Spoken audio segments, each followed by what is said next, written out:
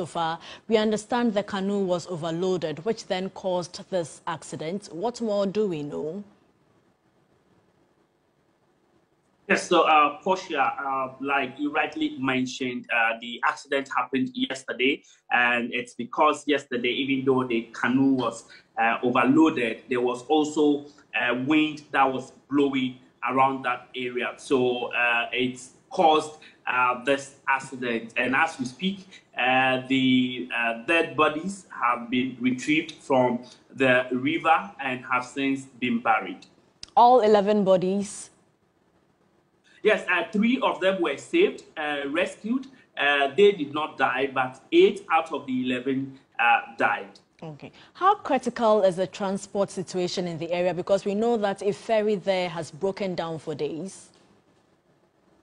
Yes, uh, so Portia, if you go to the Krachi Nchumuru area, almost all the communities are connected by water. So uh, before you commit from one community to the other, you have to cross uh, the Oti River before you have access to the other community. So that is the kind of life they live. The majority of them travel by water, and so uh, to get access to a community, you have to use the water. And the canoe is the easiest way they can get access to the next community. So that is what they are using, and that is what they've been using over the years. And uh, they do so without any uh, protection, no life jackets, no education. Uh, they only use their eyes to watch the weather and know whether to move or not. And because they use the canoe for their major activities like attending funerals, like attending uh, weddings and outdoorings, and even going to their farms,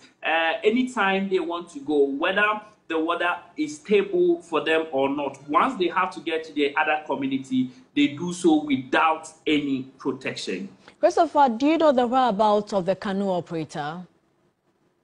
Yes, so earlier today, the police in the district invited the canoe uh, uh, uh, operator to the police station to answer some questions. Uh, before uh, coming on air, I had engagement with the assembly member for the area, and he told me that he's yet to get information about uh, whether or not the police are detaining the canoe operator or they have let him uh, go. But what we do know is that he was invited by police to answer some questions and assist in uh, investigation. Just before you go, what are authorities doing to ensure this does not occur? Okay, so NADMO was in the uh, affected uh, area today to uh, take records of whatever that happened.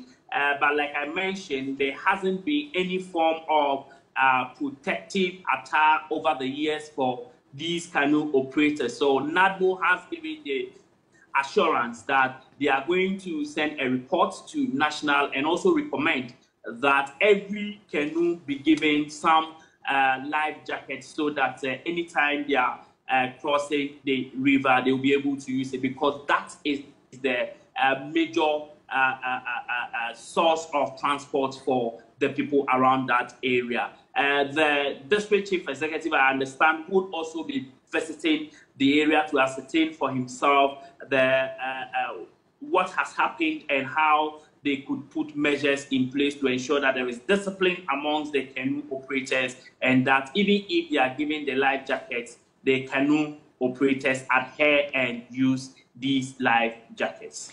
Thank you so much for your time and I've been speaking with Christopher Amoako, our correspondent.